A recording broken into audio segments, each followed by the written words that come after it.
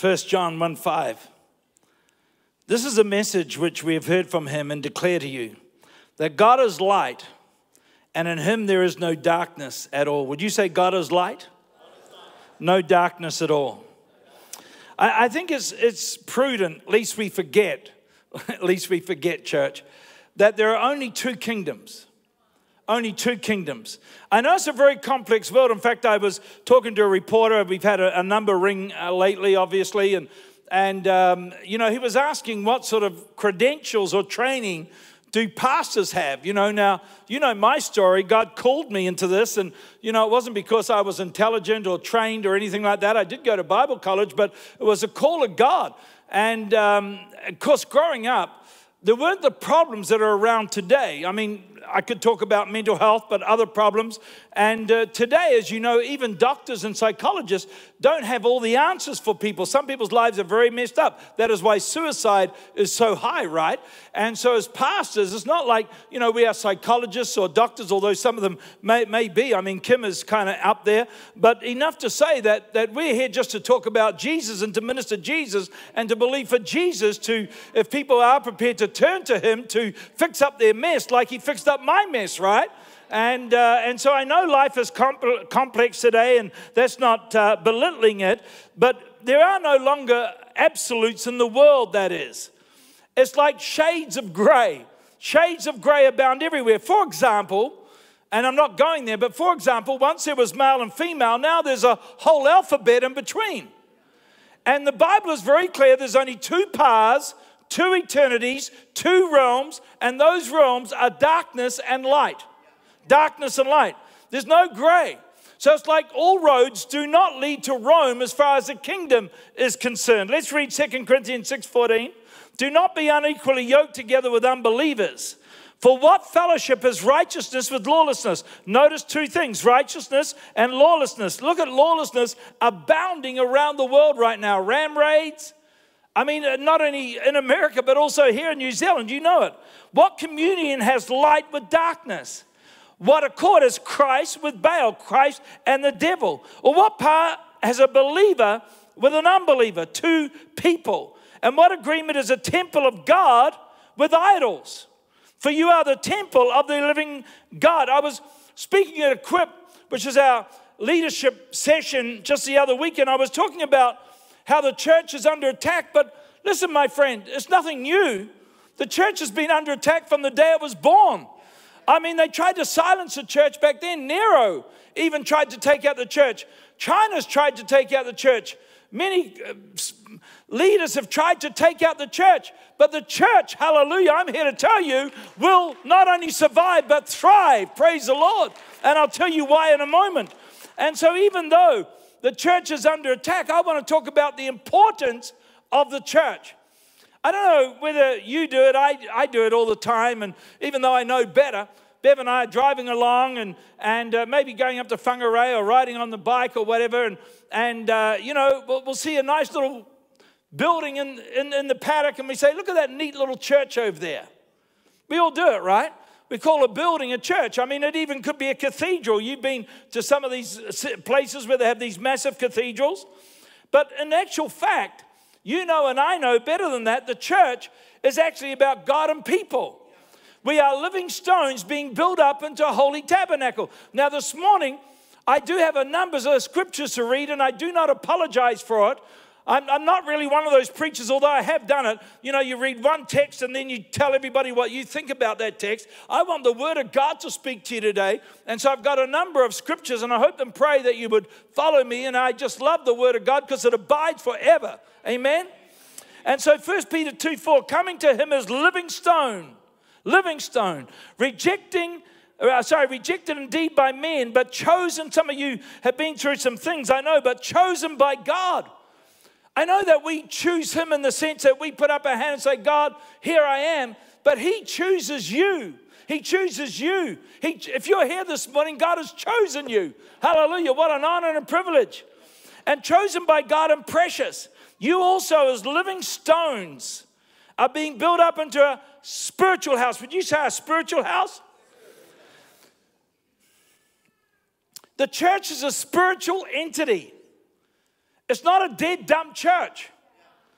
It's about God and people. A holy priesthood to offer up what? Spiritual sacrifices acceptable to God through Jesus Christ. I know when we come to church, we meet our friends, we have coffee, we, you know, we, but it's not about that. We're here to offer up spiritual sacrifices. We're here to do business with God. Amen. Now, I want you to note there's two other incredible descriptions of the church, and you need to be reminded of this that we are the church, we are the bride of Christ. Wow. I said, the bride of Christ. We are also the body of Christ. In other words, we're a living building, a living body, a living bride. The church is not dead, but the church is a living organism. Now, the world, listen now, from a biblical perspective, is way more spiritual than what you and I give it credence, or particularly what other people give it credence of. It's more spiritual than many people perceive. I mean, I often say, you are more of a spirit being than a, a physical being. Your spirit is going to live forever. Your body, that which we see and spend so much time and emphasis on, is going to go to the grave, dust to dust, ashes to ashes. I know you're wanting to put it off as long as you can, but the reality is your spirit will live forever. So you are a spiritual being living in a dirt bag. Now, some may be better looking dirt bags than others, but you're still a dirt bag. Your body is made up of minerals of the earth, right? But especially in our Western world, our Western culture, we tend to be very carnal. We tend to be very fleshly orientated. I'm talking to myself as much as I'm talking to you. Obviously, I know in the church, you know, sometimes it can be gossip and bad attitudes and jealousy and unforgiveness. Those sort of things should not exist in a church. But I'm talking about other natural things, even the building. I was saying to Pastor Joe, I said, Joe, I said, there's so many things that you, as lead pastor, can get caught up in. And the pressure will come to get caught up because I know what it's like. So many natural things room allocation, finance, so many natural things.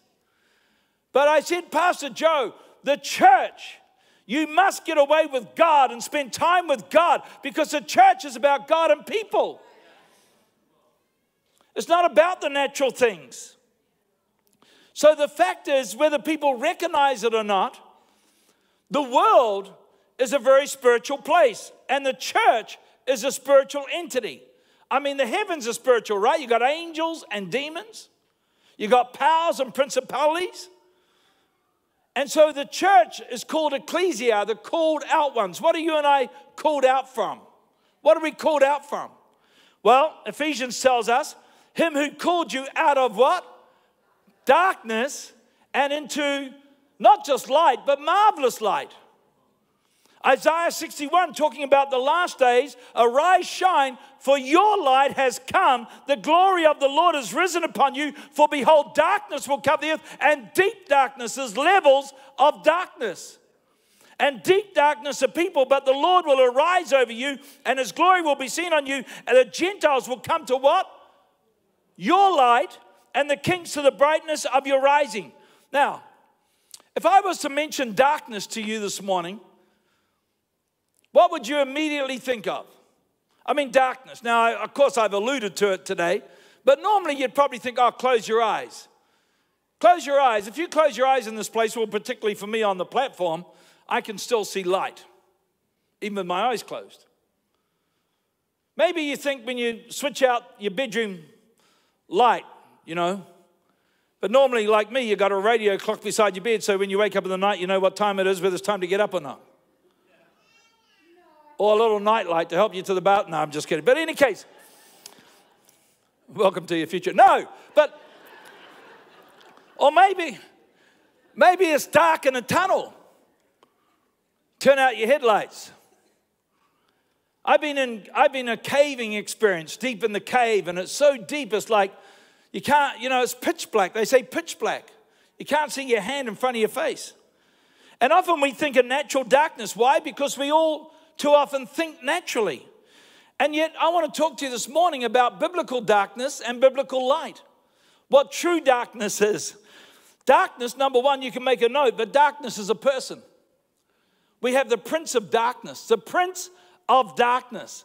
Now, Ephesians 6:10, let's just read from verse 12. Talks about putting on the armor of God, but it says, We do not wrestle against flesh and blood, but against principalities and against powers.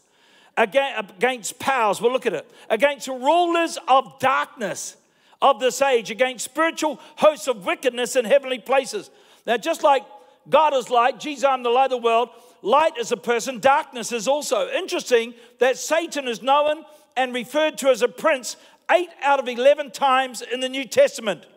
Christ is only referred to a prince three times. In Acts 3, the Prince of Life. Acts 5, the Prince and Savior Jesus Christ. And in Revelation, the Prince of Kings. But of course, listen to me, Jesus is also known as a king. A king is higher than a prince, right? He was known as a king at his birth. The wise men came and they said, Where's the king that we may worship him? Even at his trial, Pilate said, Are you a king? And he said, Yes, I am. Above us on the cross, Jesus, the king of the Jews. In Revelation, it talks about Jesus known as a king of kings. The only thing that comes close for Satan is when he's known as Beelzebub, the Lord of the flies. But Satan is known as a prince three times, the prince of this world, three, four times the prince of devils and demons, and the prince of the power of the air. Now, I'm talking about two kingdoms, light and darkness. I'm talking about two princes, prince of light and prince of darkness. So not only is darkness a person, but number two, darkness is a power, a power, a power. Acts 26, 18. Now I send you, in verse 18, Paul is here on the road to Damascus, and because he has an angelic visitation, to open the eyes in order to turn them from darkness to light, from the power, but he say the power. Power of Satan to God, that they may receive forgiveness of sins and inheritance among those who are sanctified by faith in me. And so when we go through these eight P's, and I didn't come up with them all, by the way, I'm not that clever, but I, I built on it. Uh, power and a person. Darkness is also a preference, a preference. In John 3, verse 14, talking about the great verse, for God so loved the world that he sent his only begotten Son, but also says in verse 19, look at it, for this is a condemnation that the light has come into the world. Look at this, look at this, look at this. The men love darkness rather than the light. They chose darkness rather than the light. Everybody here's got to make a choice. Because their deeds were evil, for everyone who practices evil hates the light and does not come to the light, lest his deeds should be exposed. So, darkness is a preference. Darkness is also a place. A place. Matthew 8 12. But the sons of the kingdom will be cast out into where?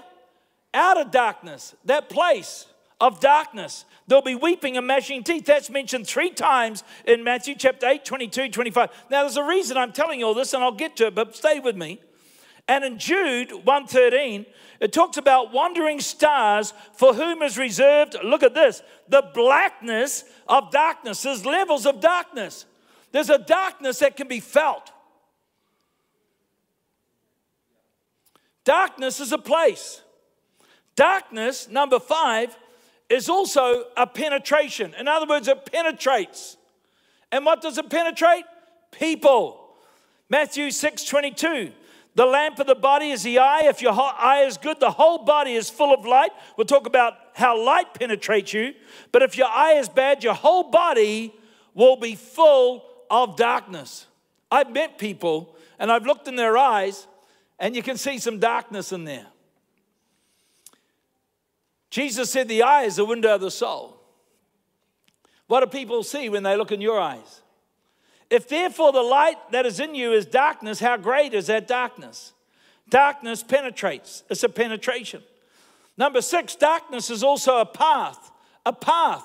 He who walks in darkness, let's have a look at a couple of scriptures because the Bible says in two or three scriptures, let everything be established. So I want to share this with you, not just making it up. Is that all right? 1 John 2:11 He who hates his brother is in darkness and walks in darkness, walks in darkness and does not know where he is going. because the darkness has blinded his eyes. 1 John 1 6. No wonder Jesus, the, you know, there was not one person in the Old Testament that had ever been healed of blindness until Jesus came. And yet, that was the most miracles that he did was to heal people of blindness. The disciples went on to do many miracles, lame people, even raise the dead. But maybe you can find it where a disciple cured a blind person. And that was the number one miracle of Christ.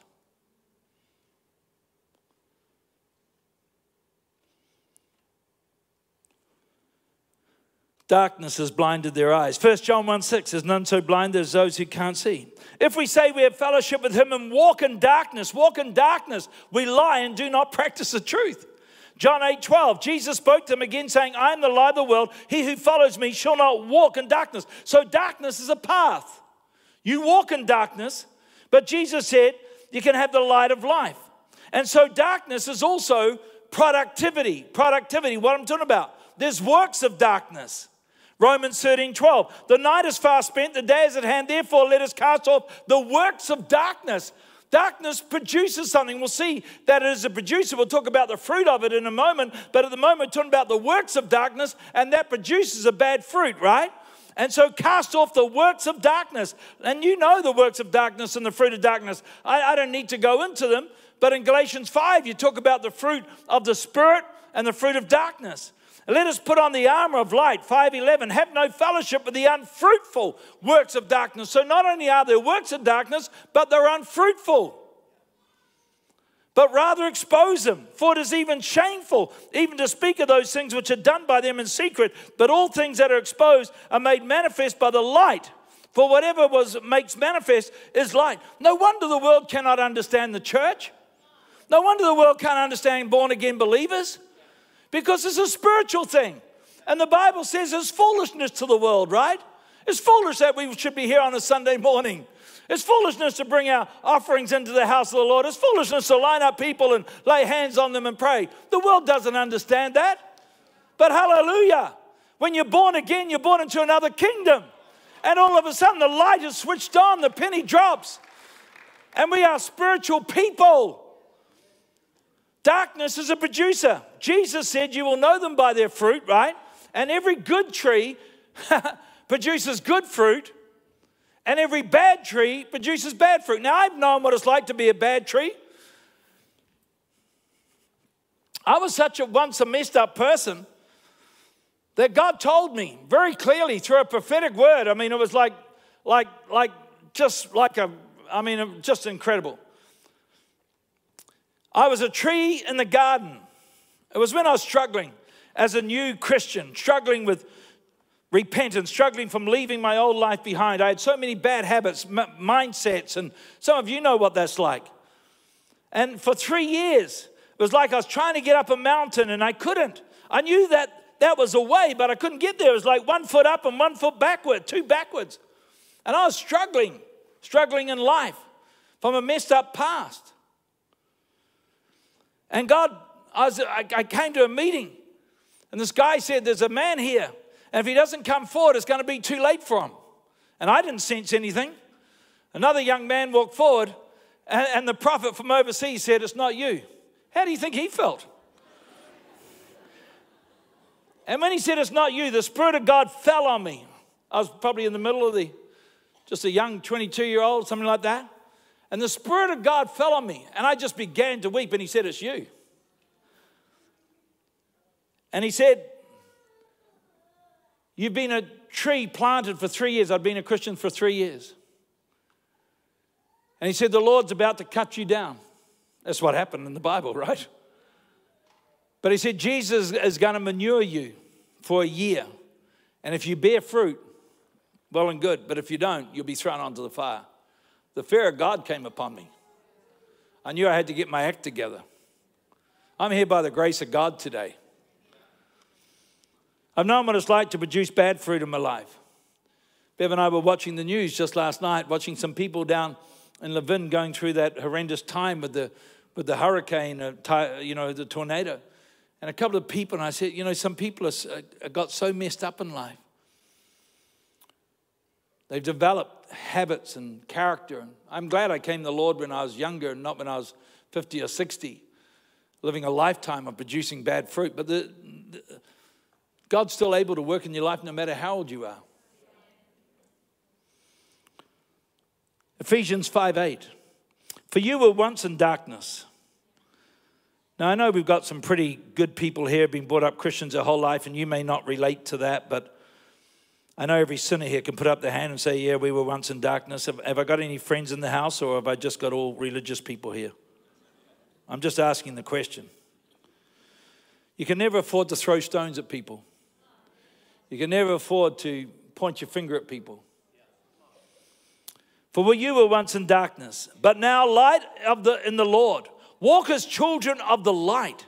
For the fruit of the light is in all goodness and righteousness and truth. The fruit of the light, proving what is well pleasing unto the Lord, and have no fellowship.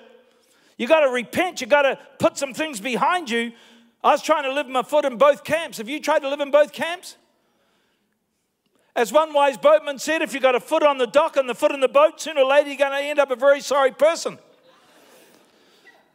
A person with one foot in the church and one foot in the world, you'll end up a very messed up person. It doesn't work. The only way is to be all in. Take up your cross daily. And it says, have no fellowship with the unfruitful works of darkness. Notice the fruit of the light, but in darkness is the unfruitful works. So darkness is a producer. Romans 6:21, when you were slaves of sin, you were free slaves of sin. Do you know in Second Peter, there are chains of darkness. Chains of darkness. Darkness will hold you a prisoner. See, we think of chains, we think of natural chains, think of dungeons, think of irons and so forth, but there are spiritual chains. Chains of darkness. But do you know there's someone who can set you free? His name is Jesus. Hallelujah.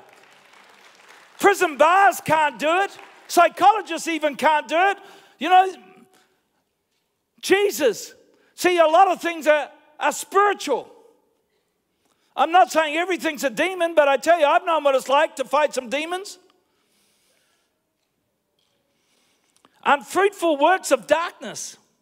Romans 6:21. For you were slaves of sin, but you are free you were free in regard to righteousness. What fruit did you have then in the things of which you are now ashamed?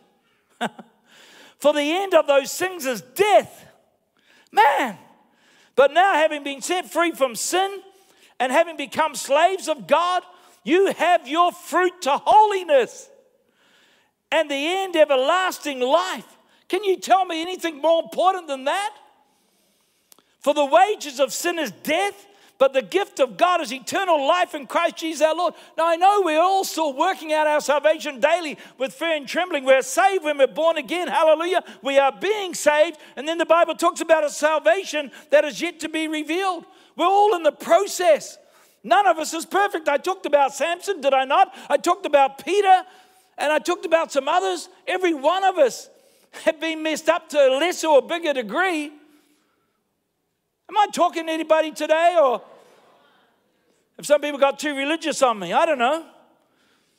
Fruit of darkness are listed in Galatians 5 along with the fruit of the Spirit. So we could say not only darkness is a person, a power, a preference, a place, a penetration, a path, a productivity, and a producer. Therefore, darkness is a problem. P. Get it?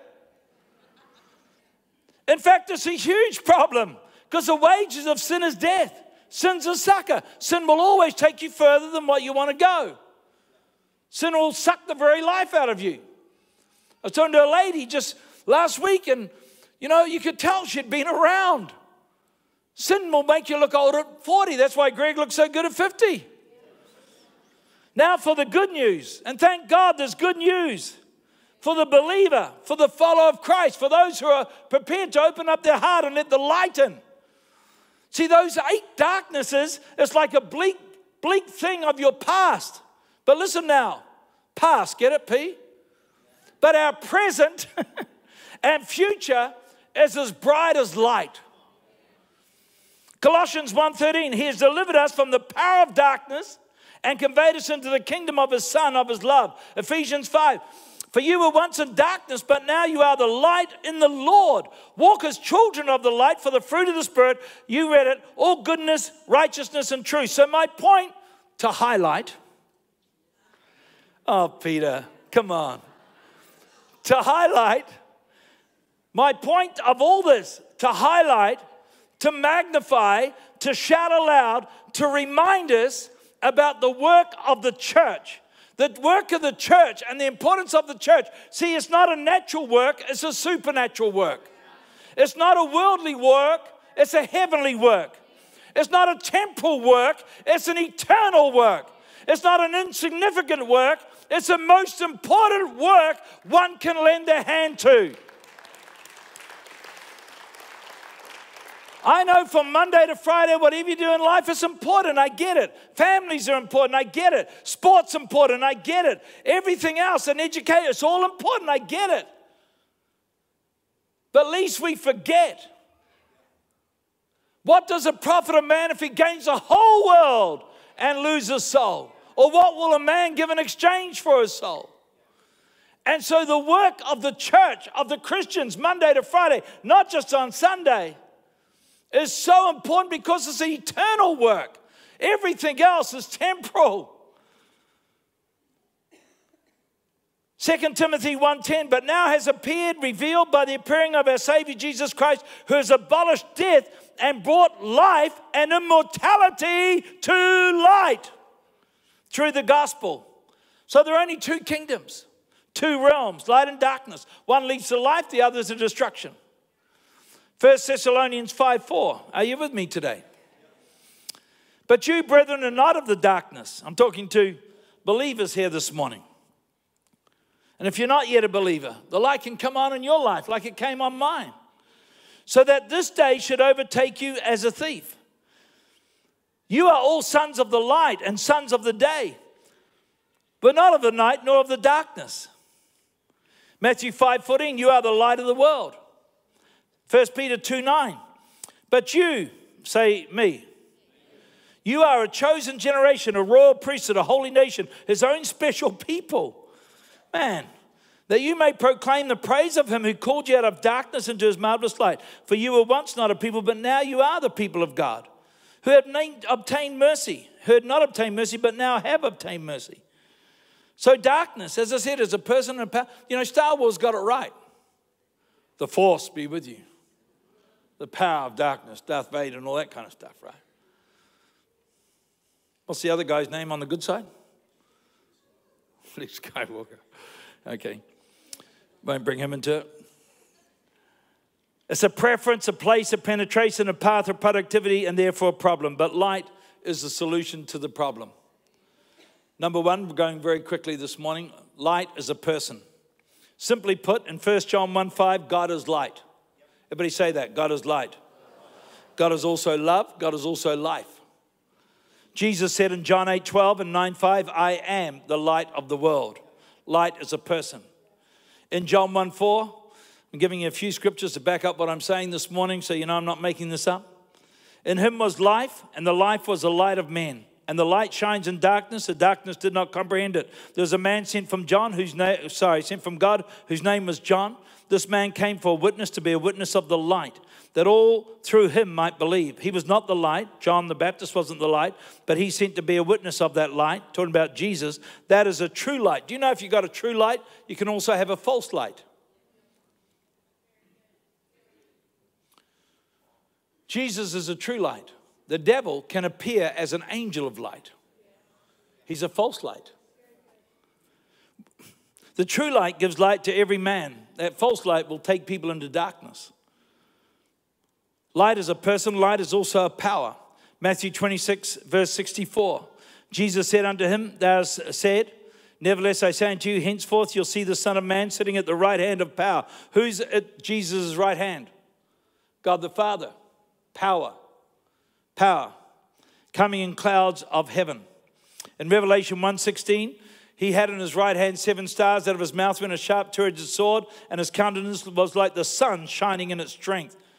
You and, and I know, living in New Zealand, if you go outside with the, with the, uh, without sunscreen, you can only probably, I don't know, last, a, you know, half an hour or so, an hour, particularly as you get a bit bolder.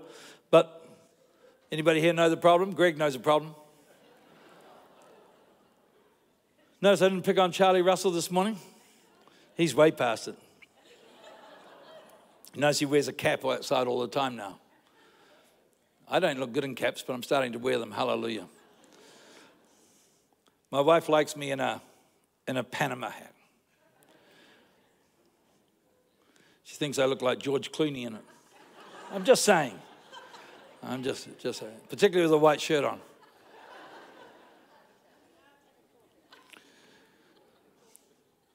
But the sun shining in its strength, that's pretty bright. Hebrews 1 3, who being the brightness of his glory and the express image of his person, upholding all things by the word of his power. 1 Corinthians 4:20, for the kingdom of God is not in word, but in power. Power. Power.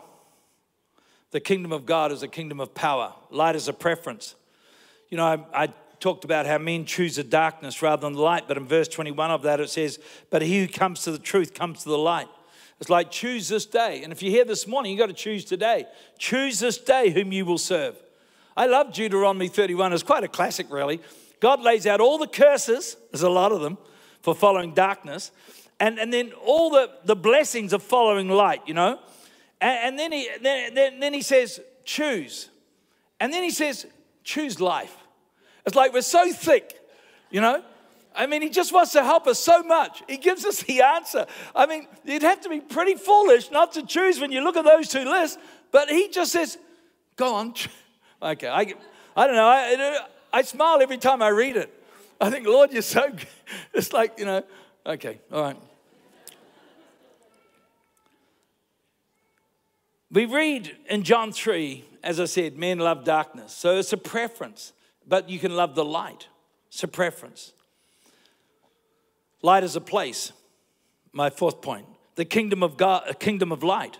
In Revelation, it says there's no more need for the sun because God will be its light. Let's have a look. Revelation 21, verse 3, 23. The city has no need of the sun or the moon to shine in it, for the glory of God has illuminated it.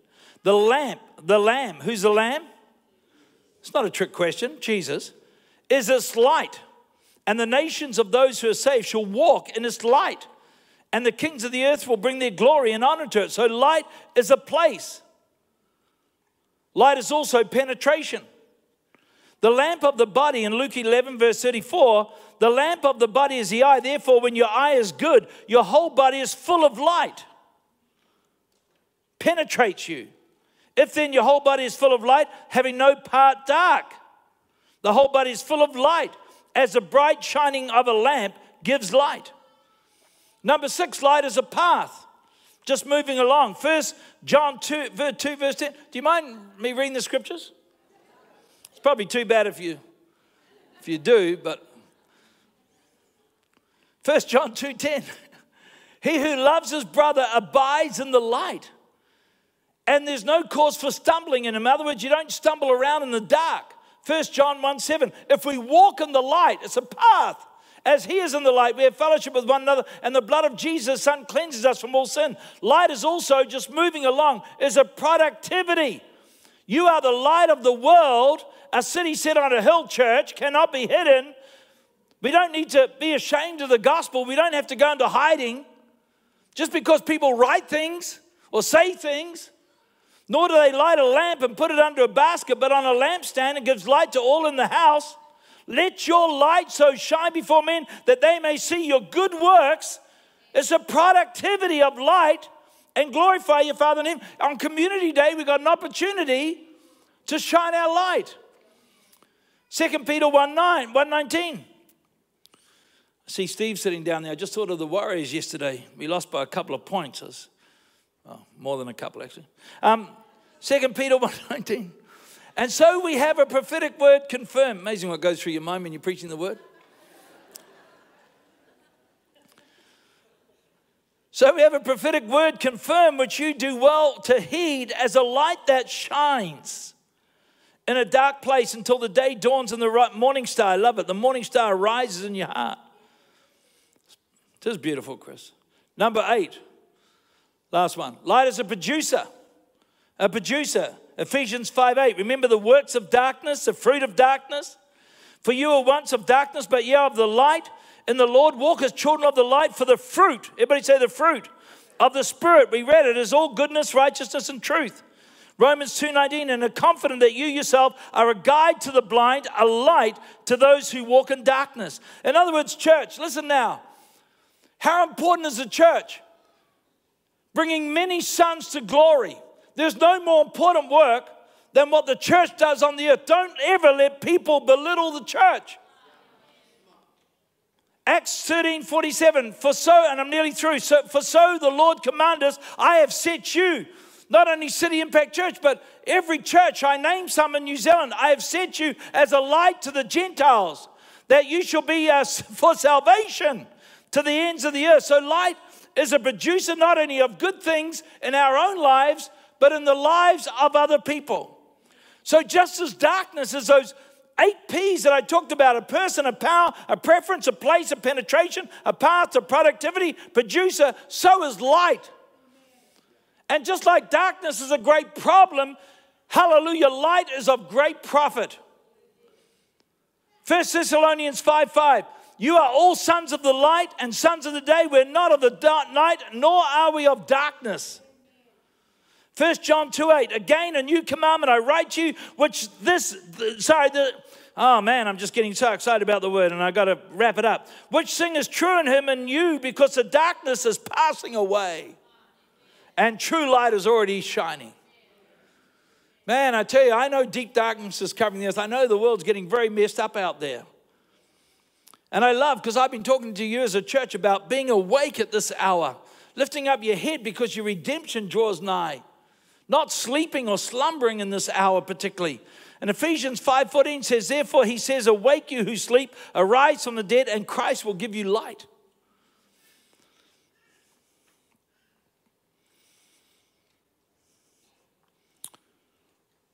I got two other short scriptures I got to read to you. Is that all right? 1 Timothy 6:15. He who is blessed and the only pontinate, and I probably pronounced that wrong. How do you say it? Did I get it right? Thank you. Probably at my age, I should have it right by now.